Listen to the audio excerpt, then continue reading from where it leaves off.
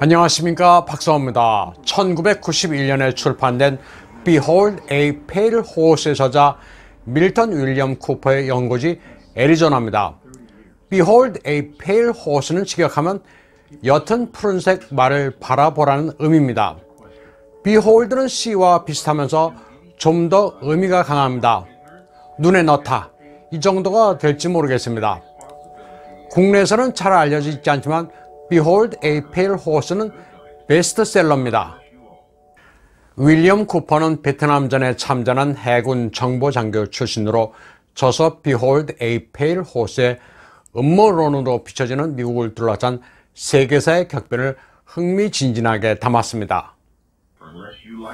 cashless society 사회주의화, 미국 정신의 상징인 총기 압수, 글로벌리스트들의 권력 장악 등을 그렸습니다.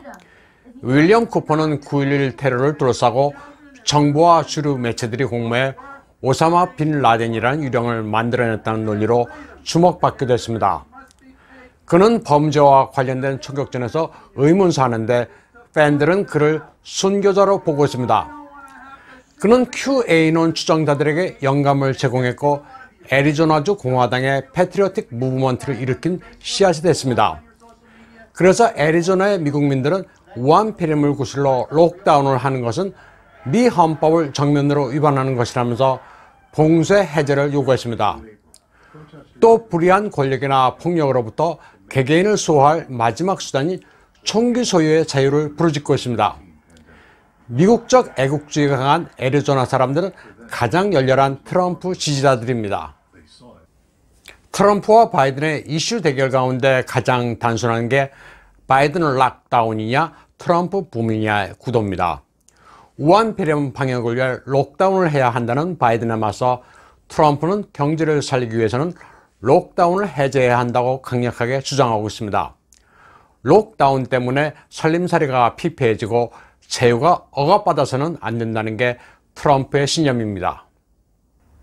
한편 카말라가 애리조나에서 차량 집회를 가졌는데 겨우 100대 정도가 모였을 뿐이었습니다. 바이든의 유세 현장도 썰렁하긴 마찬가지입니다. 여론조사와는 너무 동떨어져 있습니다. 반면 트럼프의 딸 이방카가 플로리다에서 아버지를 위해 연단에 섰을 때는 열기가 엄청났습니다. 거대한 성조기 아래서 이방카는 백악관에서 4년을 더 싸울 전사를 선택해달라고 호소했습니다. 유세가 끝나자 이방카와 사진을 찍고 사인을 받으려는 인파도 상당했습니다. 10월 27일 트럼프가 애리조나로 가기 전 네브라스카를 들렸을 때 모인 유세 현장도 상당히 장관이었습니다. 2016년보다 더 열기가 높습니다. 공화당 전국위원회 의장 로나 맥데니얼은 유세 현장을 꼼꼼히 기록합니다. 그녀에 따르면 플로리다주 탐파는 등록하고 입장한 인원이 17,000명인데 이 가운데 19.3%는 공화당원이 아니었고 25.2%는 2016년에 투표하지 않은 사람들입니다. 민주당의 텃밭인 미시간주의 입장 인원은 12,000명이나 됐습니다. 여기서도 바이든의 표를 트럼프가 대거 빼앗아 가고 있습니다. 트럼프 유세장에 입장한 사람들의 56.4%가 공화당원이 아니었고 26.1%가 2016년에 투표하지 않은 이들입니다. 민주당과 무당파의 표심이 트럼프로 급속히 쏠리고 있다는 얘기입니다. 셰일 게스를 2년 안에 없애겠다는 조 바이든의 실언으로 최대 접전지 펜실베이니아도 급속히 트럼프로 돌아서고 있습니다. 10월 27일 CNN은 주민들의 생계 수단을 파괴하겠다는 바이든이 펜실베이니아에서 패퇴하고 있다고 보도했습니다. 펜실베이니아는 2016년에도 트럼프가 이긴 주입니다. 피우 연구센터의 조사에 따르면 미국의 모든 유권자들은 공화당이든 민주당이든 74%가 경제 이슈에 가장 관심이 있습니다. 민주당이 제기하는 인종 문제나 경찰 예산 삭감 같은 이슈는 전혀 관심이 없습니다. 유권자들은 바보가 아닙니다. 경합주인 플로리다의 경우 라티노들이 많습니다. 2017년 힐러리는 라티노 62%의 지지를 받았는데도 패배했습니다. 그런데 지금 플로리다 라티노의 바이든 지지세는 힐러리만도 못합니다. 10% 이상 떨어진다는 여론조사도 있습니다. 시청률 1위의 폭스뉴스에 따르면 현재 민주당은 라티노들의 눈에 2008년과 2012년과는 다른 인상을 주고 있습니다. 극좌파의 선동으로 민주당 전체가 반공 성향인 라티노들의 반감을 사고 있습니다. 흑인들도 마찬가지입니다. 민주당이 도대체 한 일이 뭐냐? Give me one accomplishment this man has given you in 47 years. 바이든이 47년 동안 당신에게 해준 공적 하나라도 말해보라고 민주당 지지자들에게 묻고 싶다고 말하고 있습니다. 역대 선거에서 민주당에 표를 던졌던 미국의 저명 톡쇼 MC 데이브 루빈조차도 이번에 처음으로 공화당 후보를 지지한다고 밝혔습니다. 트럼프야말로 극좌파를 저지할 최후의 보루라고 그는 말했습니다. 극좌파라는 말은 미국에서 공산주의를 의미합니다. 데이브 루빈 말고도 많은 미국의 유권자들은 공산주의만큼은 용납해서는 안 된다고 여기고 있습니다. 10월 27일 조 바이든은 오랜만에 유세 현장에 나와 엉뚱한 말 실수를 했습니다. 자신이 카말라 해리스의 러닝메이트 부통령 후보라고 말했습니다. 그러다가 농담이라고 얼버무렸습니다. 하지만 유권자들은 그 말이 사실 맞다고 여기고 있습니다. 민주당의 극좌파들은 조 바이든보다는 카말라 해리스를 주역으로 생각하고 있습니다. 조 바이든을 내세워 일단 대선에 승리할 경우 갈아치울 생각을 하는 이들이 많습니다. 바이든은 트로이에 목마일 수도 있습니다. 미 대선 직후 소요 사태가 발생할 수도 있다는 우려도 나오고 있습니다. 뉴욕의 고급 아파트에 사는 부호들은 퇴직 경찰을 초빙해 경비를 부탁하고 있다고 합니다. 뉴욕 포스트는 한 소식통을 인용해 많은 사람들이 안전 문제를 의식하기 시작했으며 스카이스크래퍼마다 경비를 강화하고 있다고 보도했습니다. 한편 중공의 오중전에는 29일 막을 내렸습니다. 사전에 장점인 정칭홍의 상하이 방에 대해 숙청을 어느 정도 완료한 때문인지 내부 권력 투쟁의 조짐은 전혀 노출되지 않았습니다. 후계자 논의는 당연히 없었고 인사 변동도 민영 경제도 거론되지 않았습니다. 시진핑의 측면에서 보면 2035와 건국 100주년인 2049란 숫자가 중요합니다. 2035 장기 목표란 단어가 나왔는데 이는 시진핑이 82세가 되는 2035년까지 집권하겠다는 겁니다.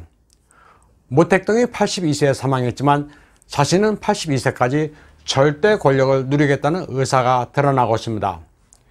그리고 2049년까지 수렴 청정을 할 작정입니다. 그러나 그때까지 중국 공산당이 생존할 수 있을지는 미지수입니다. 발표된 회의 공보에서는 시진핑 절대 영도만 강조됐습니다. 경제를 보면 시진핑을 핵심으로 하는 당 중앙이 국내 대순환과 쌍순환을 밀고 나가기로 했습니다. 쌍순환은 국내 경기 순환에다 외국 투자도 필요하면 들어올 수 있다는 겁니다. 친중 성향의 월가 투자를 기대하고 있는 대목입니다. 들어오는 것을 막지는 않는다. 쇄국 경제 체제는 아니라고 둘러대는 허장성세 구호입니다.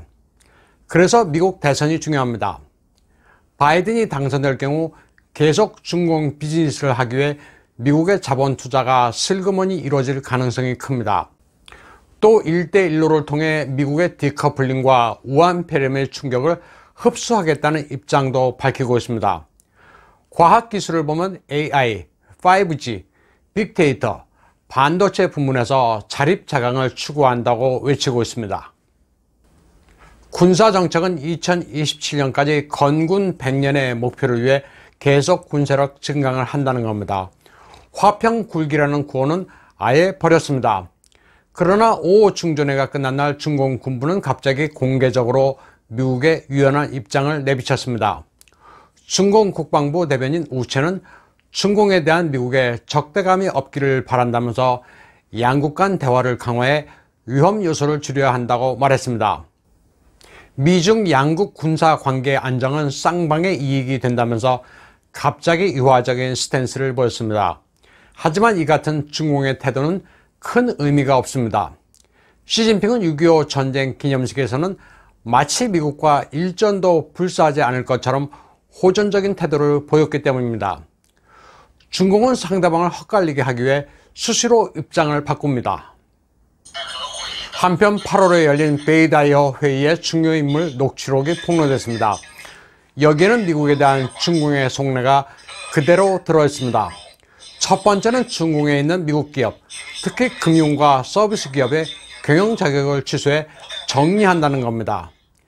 그러면서 다시는 미국의 중공의 금융, 농업 서비스 부문을 개방하지 않는다고 말합니다. 두 번째, 핵무기 개발에 크게 힘쓴다. 강단 핵 억지력으로 미국에 미친 짓을 저지한다. 국방 예산을 크게 늘려 GDP의 4% 이상으로 한다. 선진 무기를 개발해 국방 실력으로 미국과 미국을 수반으로 하는 제국주의 집단에 맞선다. 선명한 기치로 미국 패권에 반대하기 위해 세계 무대에서 반제국주의, 반패권주의 연맹을 구축한다. 자주 독립과 자력 갱생의 정신을 선전해 하이텍과 첨단 제품 제조의 돌파구를 모색함으로써 미국의 기술 봉쇄에 맞선다. 그렇게 함으로써 국가 경제 쌍순환을 이룩해 궁극적으로 유라시아 대륙 경제 체제를 구축하고 전 지구적 인민폐 결제 시스템을 마련한다. 중공에 대한 미국의 전략 봉쇄를 견결히 타파하고 강한 의지로 타이완을 해방하며 제1, 제2 도련선을 돌파한다. 미국에 대한 환상을 버린다. 국내에서는 국민의 전쟁 동원 체제로 항미 원조, 특히 상감령 정신을 크게 선전한다. 전쟁을 한다는 생각으로 국가 경제를 이끌어야 한다. 전쟁에 대비해 식량과 에너지를 비축한다. 미국 채권을 모두 팔아 미국의 금을 회수하고 재미과학자와 유학생을 불러들임으로써 미국과 완전히 관계를 단절할 준비를 하라는 내용입니다. 한편 미 FBI가 헌터 바이든에 대해 본격적으로 수사에 착수한 것으로 알려졌습니다. 아마도 종족을 감췄던 헌터가 자수한 것 아니냐는 관측이 나오고 있습니다. 이런 가운데 조 바이든이 한미 동맹은 피로 맺어졌다면서 자기가 대통령이 되면 주한미군 철수 카드로 한국을 갈취하지 않겠다고 말한 것으로 보도되고 있습니다. 아마도 한국계 미국인표를 염두에 두고 한 말 같습니다. 그런데 분명한 것은 바이든은 자기가 누군지, 대통령으로 출마하는 건지, 상원 의원으로 출마하는 건지, 카말라의 부통령으로 나오는 건지조차 오락가락하는 인물입니다. 그리고 중공의 돈에 매수돼 오바마와 함께 남진아해 중공 도발을 눈감아주고 미국과 동맹국들의 안보를 팔아넘긴 대통령 후보입니다. 오늘 방송은 여기까지 하겠습니다.